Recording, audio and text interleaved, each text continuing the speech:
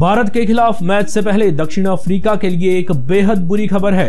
Team के अनुभवी तेज गेंदबाज डेल स्टेन चोटिल होकर वर्ल्ड कप 2019 से बाहर हो गए हैं।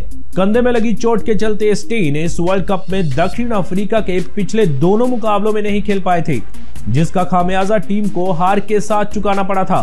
अब स्टेन के बदले हेंड्रिक्स को विश्व कप टीम में शामिल किया गया है। हेंड्रिक्स एक बाएँ हाथ के तेज गेंदबाज हैं। आपको बता दें कि दो साल पहले डेल स्टेन को ऑस्ट्रेलिया के खिलाफ सीरीज़ में कंधे में तकलीफ़ हुई थी, जिसके बाद उन्होंने क्रिकेट काफ़ी कम खेला है। आईपीएल 2019 में भी स्टेन ज़्यादा नहीं खेल पाए थे। वर्ल्ड कप 2019 में दक्षिण अफ्रीका की शुरुआत पहले ही बेहद खराब रही है। जहाँ पहले मुकाबले में उसे इंग्लैंड ने हराया तो वहीं दूसरे मैच में बांग्लादेश ने ज़बरदस्त खेल दिखाते हुए साउथ अफ्रीका को करारी शिकस्त दी थी। अब उसका अगला मुकाबला कल टीम इंडिया से है।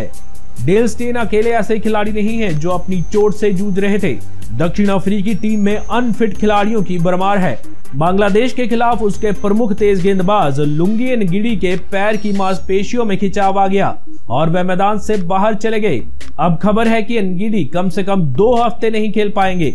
वहीं हाशी मामला को इंग्लैंड के खिलाफ ओपनिंग करते वक्त जोफ्रा आर्चर का एक बाउंसर हेलमेट पर लगा था। इसके बाद वो रिटायर हो गए थे और जब वह लौटे तो काफ़ी परेशानी में दिखे। इसी के चलते बांग्लादेश के खिलाफ उन्हें टीम में जगह नहीं मिली और अभी भी वह पूरी तरह से फिट नहीं है।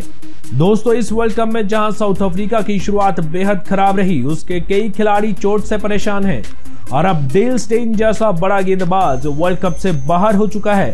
आपको क्या लगता है कि साउथ अफ्रीका इस वर्ल्ड कप के सेमीफाइनल में भी पहुँच सकेगी या नहीं? आप नीचे कमेंट बॉक्स में कमेंट कर ज़रूर बताएँ। और क्रिकेट के ऐसे और अपडेट्स के लिए हमारे चैनल को अभी सब्सक्राइब कीजिए।